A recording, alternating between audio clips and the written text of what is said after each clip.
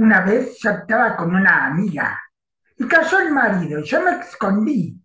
pero el marido me descubrió y le dijo a su esposa, Carmen, ¿qué hace ese hombre abajo de la cama? Y ella le dijo, abajo no sé, pero arriba